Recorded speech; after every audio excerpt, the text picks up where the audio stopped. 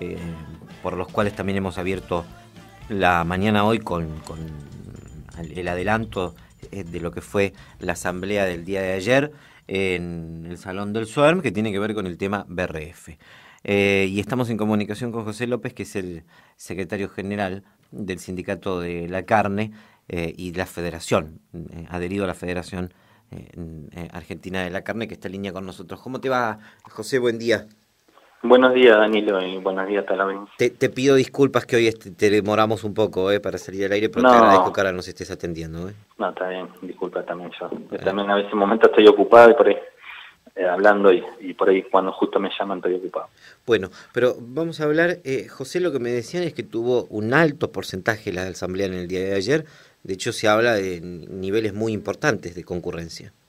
Sí, sí, sí, la asamblea, lo bueno de esto es que fue la gran mayoría, solamente faltaron cinco compañeros nomás, para que te dé una idea de todos los trabajadores. Así que fue, creo que la asamblea más completa que hemos tenido de los años que estamos nosotros, ¿no? y, amerita lo que estamos tratando, ¿no? Que, todos los compañeros se, se preocupen y vayan a la asamblea, que es importante para tomar decisiones, ¿no? Eh, José, mm, ¿cuál ha sido la propuesta que les ha eh, hecho la empresa y que ustedes discutieron ayer en esta asamblea? Mira, yo para, para ser un poquito más amplio y, no ir directamente a una propuesta y decir, nosotros cuando la empresa vino el día hace dos meses atrás con el tema de la problemática, lo que nos ha planteado siempre ha sido el tema de la recategorización y de un premio que nosotros tenemos que le llamamos el variable, que es un premio que tenemos de producción que que es se mueve a medida de que se hacen determinada cantidad de kilos. A partir de las 1.300 toneladas para arriba empezamos a cobrar un valor por tonelada. Eso era lo que nos cuestionaba la empresa, que llegaba un momento que se, se hacía inviable por la cantidad que ellos promovían querer hacer más toneladas de las, pensadas y no lo podían hacer porque las últimas toneladas le terminaban saliendo las últimas salchichas a un precio que no las podían ni siquiera vender. Entonces, en ese sentido, nosotros, cuando ellos, dentro del preventivo, te estoy hablando, que presentaron el preventivo, lo que nosotros dijimos que teníamos que sentarnos a rever ese premio que estábamos dispuestos y a ver. En ese sentido, porque estábamos dentro del preventivo, antes de que surgiera lo que podía surgir, que era que le aprobaran el preventivo a ellos y, y ahí nos sacaran sin consultar. Entonces, bueno, entramos en un procedimiento de preventivo, lo cual entramos en la negociación, nos llevó tiempo evaluar, prueba de acá, prueba de acá, ellos trajeron, y así fue, se fue pasando el tiempo, pero siempre dentro del preventivo, que en lo cual nosotros no podíamos hacer nada, ni siquiera decir, bueno, vamos a tomar una medida, un kit de colaboración por lo que está, no, no, porque estábamos dentro de un procedimiento. Eso llegó hasta el día de que se terminaron los días del Eso fue el día viernes, la última audiencia. El día viernes se terminaba los días. El día miércoles de la semana pasada nosotros nos juntamos en privado con la empresa. En lo cual la empresa no nos ofrece que como última oferta de, llegar a un acuerdo nos ofrece lo que hoy estaríamos cobrando nosotros, que son los premios fijos, y sacar el variable definitivo, que era el que ellos decían que le afectaba más. Aparte de la recategorización, el variable.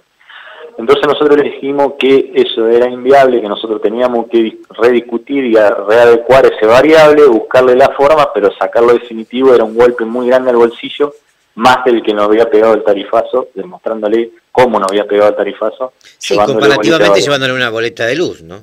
Varias, varias de varios compañeros de luz y de gas, de luz y de gas, que fueron muy altas. Bueno, en esa discusión ellos se plantaron el día miércoles que la única oferta que tenía última la empresa era eso. Lo, para hablar en plata, porque si hablamos en premios son cuatro y eh, muy... Pero para hablar en plata eran 4.200 pesos. Ajá. Lo que hoy tenemos fijo que cobramos de cero toneladas, porque uno por hora mientras haga la hora y el, Entonces ellos nos ofrecían eso como, y sacar el variable. Nosotros le dijimos que eso era inviable, que la gente ya había perdido, bueno, todo esto acá, que ella dijo, bueno, la vamos a presentar la propuesta el día viernes en la audiencia, que era el último día. Cuando llegamos el viernes a la audiencia, ellos nos ofrecen mil pesos menos de lo que le habían dicho el día miércoles. Y ahí llevan la propuesta de mil pesos menos, o sea que no solamente nos sacaban el total del variable que eso representa entre unos 3.500 pesos y 4.000, según la categoría, sino también que nos bajaban los fijos que tenía. Bueno, nosotros dijimos que eso no está mal, pero teníamos que llevarlo a asamblea porque es lo que corresponde. Como era el último día, entonces el ministerio lo que nos dice es, bueno, lo que vamos a hacer, como no podemos extender más esto, de día ya no, vamos a entrar en un cuarto intermedio de 72 horas. 72 horas hábiles, o sea que el miércoles tenemos la audiencia a las 5 de la tarde para darle respuesta de la propuesta a la empresa. El miércoles, Por eso hicimos la asamblea. El miércoles próximo. Ahora, mañana. Mañana. Mañana, mañana. Mañana ya se cumplen estas 72 horas. Mañana se cumplen, a las 5 de la tarde nosotros tenemos la audiencia. Nosotros hicimos la asamblea ayer para presentarle a la gente cómo estaba la situación y cuál había sido la propuesta de la, de la empresa. Y ahí, y bueno, y la asamblea decidieron no aceptar esta propuesta. Porque es inentendible, un día antes ofrece más y al día que te tenés que ir a, lo escrito, al lugar, a la, audiencia, eh, seguir bajando. O sea, nosotros entendemos que esa plata ya la tienen y que tenemos que sentarlo por el variable. Que seguramente no vamos a tener la conquista de, de, tener el 100% de lo que era en su momento el variable, porque en realidad el variable ya lo perdimos. Nosotros no lo cobramos hace dos meses porque no se hace kilo. Entonces lo que tenemos que tratar es recuperar por lo menos eso, o parte de eso, y sentarnos a ver la forma si quieren, que es lo que estamos dispuestos, y, los compañeros también, porque lo hemos dicho, nosotros estamos, tenemos que estar dispuestos, no, sabemos que no vamos a lograr el 100% del objetivo, seguro, porque esto sabemos cómo termina. También saber También saber cuál va a ser eh, dispuestos después eh, cuando se tome tal vez una medida de acción directa, hasta dónde se va a poder solucionar lo mismo, ¿no? Porque, digo, ya hubo el año pasado un ejemplo claro que fue el conflicto de Ingredion. ¿Sabes lo que pasa, Danilo? Nosotros tenemos, esta planta ha sufrido muchos cambios, muchos cambios de, de recursos humanos, gerente y todo, ¿viste? Y todos siempre han dejado algo malo de la planta, no, hicieron las cosas bien.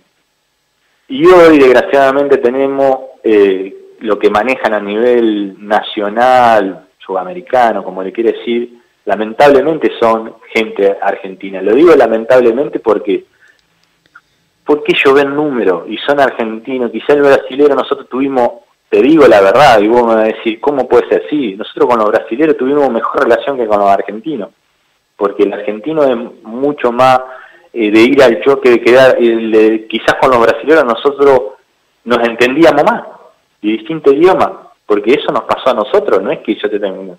Yo con los brasileños me entendía más, con el CEO que representaba Argentina, un tipo muy entendible, muy de familia, entendía las situaciones, veía el tema del contexto del país.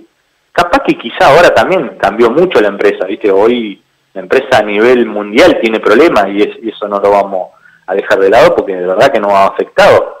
Pero la realidad es que los que pusieron hoy al frente de la compañía para discutir y, desde el CEO de Argentina para abajo, que son todos argentinos, eh, la verdad que deja mucho que desear, es continuamente ir al choque, mentir de una reunión a la otra, cambiar la pelota, no te llevan de lo que vos venías hablando, te sentás a la otra y continúa y ves, seguir viendo de solucionar la planta. Como ellos no están en Varadero, no le importa nada Varadero, vos calculá que nosotros tenemos un gerente que no vive en la planta, en Varadero. ¿Por qué no vive en Varadero? Si vino a la planta Varadero, ¿por qué no vive en Varadero? Es la pregunta del millón. Ah, no, porque San Pedro es más lindo, ¿qué? ¿Es más seguro San Pedro? No sé. Eh, vos estás en Varadero, estás viajando todos los días. Hay algo de eso que ellos vinieron armados para, para hacer lo que están haciendo. Yo siempre digo que ellos vinieron a hacer el trabajo sucio, porque el, jefe de recursos humanos de, lo que corresponde a varias plantas era jefe de recursos humanos de Planta San Jorge. Este que Fernando, que tenemos gerente acá, era jefe de producción de la planta San Jorge. El CEO que hoy subieron era recurso humano de Campo Austral. Son gente que viene de choque a la gente, que viene preparada simplemente para hacer el trabajo sucio. Porque vos te das cuenta en cada reunión que ellos lo que buscan, generar siempre eso, el choque, el choque en cada reunión.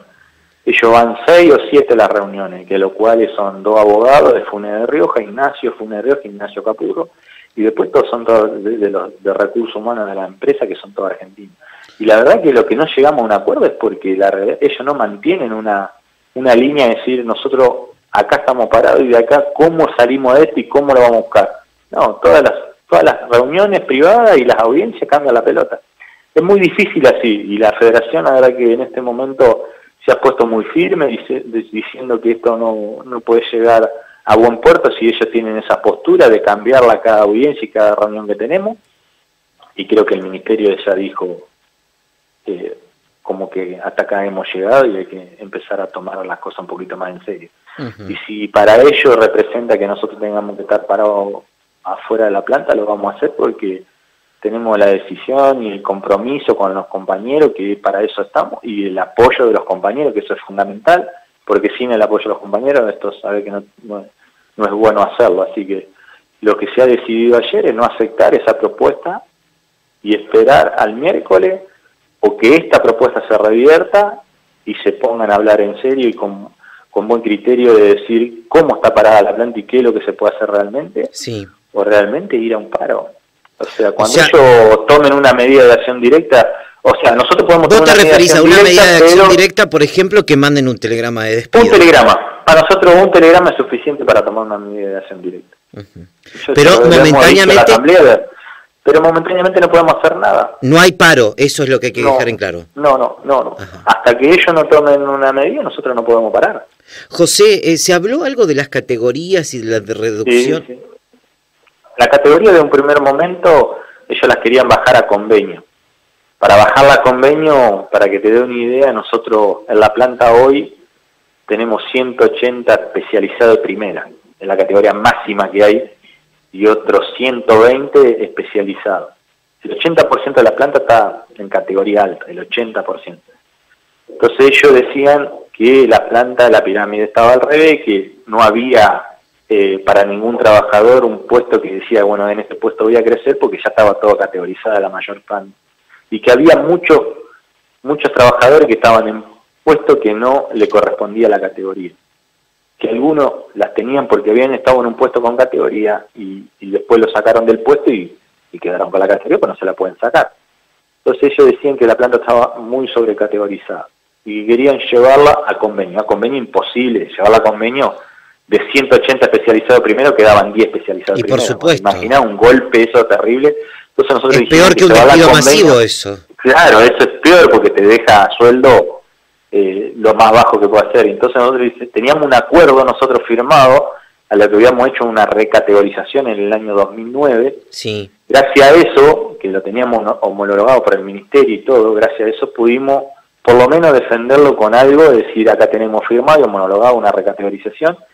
Y ahí es donde toma nota el Ministerio de la Nación y dice, no, pero de, está bien, acá tienen firmado y tienen homologado. Acá mínimo hay que respetar esto. Y ahí eso nos dio un respaldo para renegociar las categorías, de ahí para adelante, no de ahí para atrás.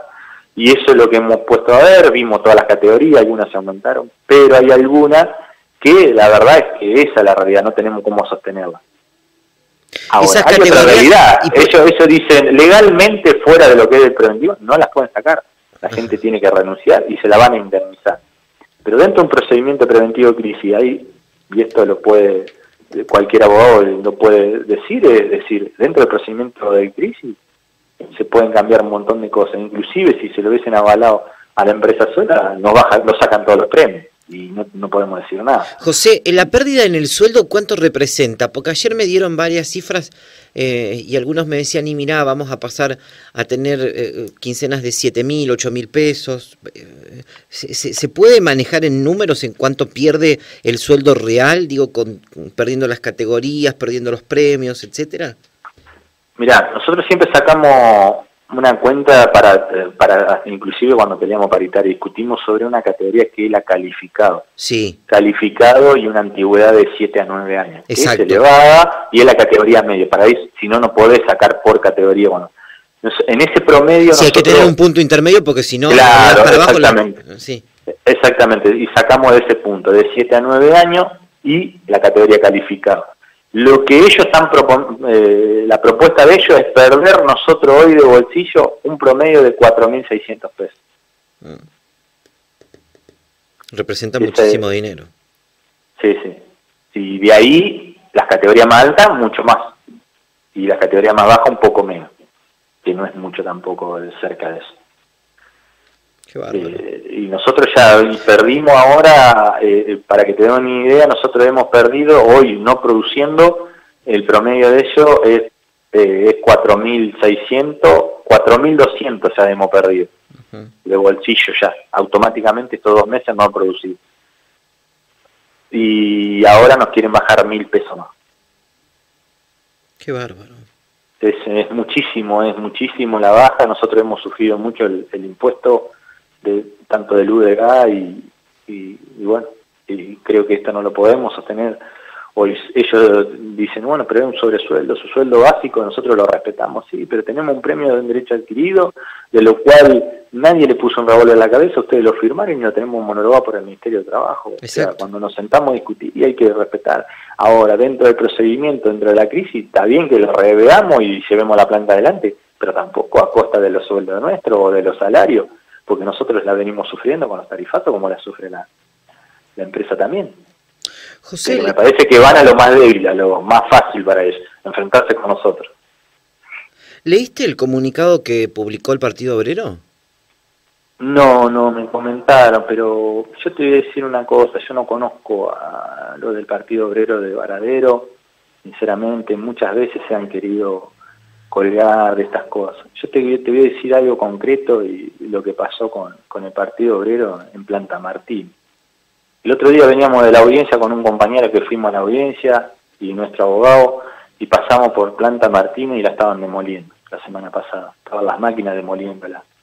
¿Esa fábrica había sido recuperada? Eh, no, no, esa fábrica se vendió, viste. Esa fábrica cerró y, y, lo único, y te lo digo porque yo lo viví, lo viví, yo estaba ya en el sindicato, estaba en la federación, lo viví como ocurrió. Esa planta, el dueño de, de en ese momento fue muy claro. La única forma que yo dejé la planta en marcha en Martínez era que si se retiraba el Partido Obrero. La planta esa la trasladaron la producción a San Jorge porque estaba el Partido Obrero adentro. No querían más guerra porque era, era como que ellos evaluaban que no podían convivir, era no les satisfacía nada y vivían del conflicto. Textuales palabras lo que dijo el dueño. El dueño fue a la federación a la cual yo concurrí a la, reunión porque yo pertenecía a Cuifo, a Cuifo en ese momento, como ahora, en planta Varadero, y estábamos todos los secretarios generales de lo que componía Cuifo, y, y en el momento de tomar la decisión el dueño dijo, la única forma de que yo pueda mantener la planta en marcha en Martínez es si se retira el Partido Obrero. No se retiraron, no llegaron a un acuerdo y la planta se trasladó la producción a San Jorge. Así textuales palabras.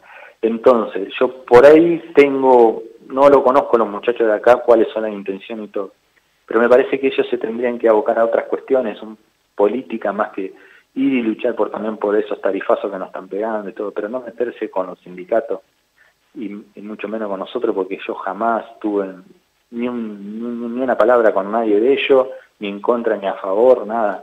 Eh, me parece que están queriendo meter en la cabeza de los trabajadores y después cuando los compañeros se queden sin trabajo, nadie le va a dar trabajo.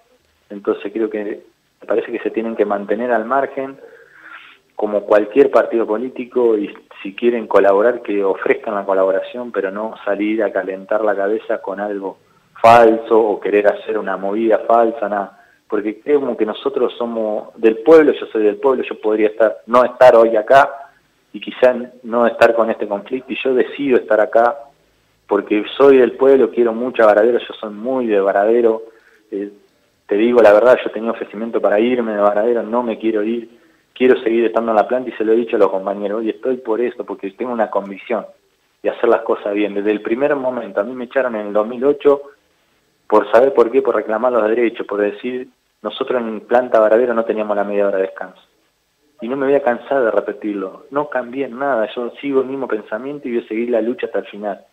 Pero siempre con los pies entre eh, bien los pies sobre la tierra, ¿no? Porque uno es de acá del pueblo, nosotros nos conocemos todos. Eh, cada uno, el que me puede llegar, sabe dónde vivo, dónde todos nos conocemos y, cada compañero, si vos entra un compañero nuevo, ¿cómo te llamás? ¿Qué apellido? Sos pariente de tal y ya nos conocemos todos. Yo por eso digo que, que, no, que a la gente, además los compañeros, que no se preocupen eh, si uno va a estar al frente. No, muchachos, yo estoy del, momento que decidí estar acá voy a estar siempre al frente. Y si tengo que poner la cabeza la voy a poner como la he puesto siempre. Yo mi comisión no la voy a dejar por, por nada, no tengo nada, nada, nada, nada que, que me lleve a ni siquiera un ofrecimiento de dinero, nada, nada, nada. Tengan muy, muy tranquilos, tengo de buena familia, mi viejo trabajó toda la vida, 50 años en una fábrica tuvo cuando llegó el momento de jubilarse acá, él trabajaba para, para un empresario baladero y lo dejó colgado y tuvo tres años sin cobrar sueldo hasta que se pudo jubilar. eh, las viví todas, yo quedé sin trabajo, fui y tenía tres trabajos a la vez, yo la viví toda, también tuve sin trabajo, teniendo familia y todo. Eh, sé lo duro que es y en otros momentos y sé lo duro que está ahora. Jamás haría una locura de entregar ni, siquiera a los compañeros ni dejar esta lucha que, que, corresponde en el puesto que estoy. La voy a luchar con todos los compañeros. Siempre y cuando los compañeros te, te acompañen, porque uno puede tener toda la buena voluntad, la disposición, pero vos sabés que esto se hace en conjunto y por eso dije siempre, no voy a tomar una decisión si no es por asamblea y por mayoría de la gente. Y a alguno le podrá gustar o no, pero lamentablemente es la única forma, es que hacerla por la mayoría porque no podemos eh, exponernos, decirlo, eh, si tomamos tres casos, cinco casos, decir a mí me va mal, tengo un crédito, tengo alquileres, yo los entiendo, de verdad que me pongo en el lugar, pero a veces hay que tomar decisiones por el bien de todos los trabajadores, porque si nosotros decimos, no, porque al compañero tal no le alcanza para alquilar y porque tiene un crédito y no lo puede pagar, nosotros tenemos que cobrar de vuelta todo lo que tenemos que cobrar y tenemos que cobrar más de lo que estamos cobrando, sabemos que la planta en ese sentido va a ir al cierre. Exacto y ahí va a ser peor porque vamos a quedar 400 familias. Me parece que esas cuestiones hay que ayudarla a buscar la forma de cómo ayudar al compañero, pero no de la forma de ir al choque para que la planta cierre. Eso a mí me queda claro y creo que los compañeros también. Es decir, nosotros tenemos que luchar y sabemos que podemos lograr el objetivo de también de mantener nuestro salario. Pero los pies sobre la tierra, muchachos, hay que, esto hay que, tiene que seguir laburando. La única forma que nosotros sigamos reclamando y recuperando salario el día de mañana es que si la planta sigue funcionando, si no, no hay otra. Y esto lo sabe todo porque mirá lo que pasó también con, la, con las plantas hoy acá en, en Varadero, las que fueron cerrando. Entonces nosotros no queremos ser otra planta más cerrada, queremos que siga trabajando, pero tampoco queremos entregar nuestra conquista y nuestro salario que hoy no hace mucha falta con el tema cada vez peor, con el tema de los tarifas. Hoy no estamos dispuestos a seguir perdiendo salario. José, eh, vamos a estar muy atentos a esta audiencia de mañana y por supuesto te estaremos convocando y, y, reiterar esto porque me parece que también nosotros los medios jugamos un rol fundamental. Yo he leído de algunos colegas, no voy a juzgar, cada uno sabe lo que hace y lo que dice y debe hacerse cargo de lo que hace y lo que dice, pero digo cuando se trata, como te lo dije a vos el primer día cuando conocimos la historia de los famosos telegramas que iban a llegar a los trabajadores, te dije, no vamos a entregar una noticia públicamente poniendo en riesgo a los trabajadores que están escuchando que por radio se enteren de cuál era la decisión. Adoptamos para con todos la misma metodología de trabajo. Y digo, mañana no hay un paro decretado por, la, por los trabajadores. No. Están a la espera de cuál va a ser la resolución de la audiencia. Entonces, no hay que generar mayor situación de conflicto ni no, situación no. endeble ante unas, los trabajadores que hoy están eh, preocupados por cuál va a ser su futuro. Digo, traten de informar como corresponde. ¿eh? Por eso, qué mejor manera que, que vos este, que lo puedas hacer públicamente. Sí, sí, yo la verdad que, que, agradezco tanto a vos o a los medios que yo he hablado por, por tratar de mantener y tener esa paciencia a veces de poder que yo le pueda decir la realidad de lo que está pasando y la verdad eh, porque yo no, no, no, diría otra cosa que no es la verdad, porque las, los compañeros la están sabiendo, o sea que ellos saben, pero siempre pido que ante esto que esperen que hablemos con los compañeros, que son los primeros que tienen que saber cómo está la situación y qué es lo posible que puede llegar a pasar y después los medios, ¿no? Y lo han sabido entender y vos fuiste uno de esos. La verdad que te agradezco porque a veces eh, que la familia se entere por una radio no es bueno, nos genera un malestar, genera eh, más inconveniente a la familia y eso es lo que no queremos, que los compañeros lleven lo que pasa, lo que está pasando a su familia, ¿no? ¿Cuál es la realidad de lo que está pasando a la planta? y no que se enteren por un, por un medio sin antes enterarse de ellos como trabajadores, ¿no? Y la verdad que le agradezco a vos y a todos los medios que, que lo han hecho hasta ahora, ¿no? Te mando un abrazo, estamos en contacto, ¿eh? Gracias, Danilo. Gracias.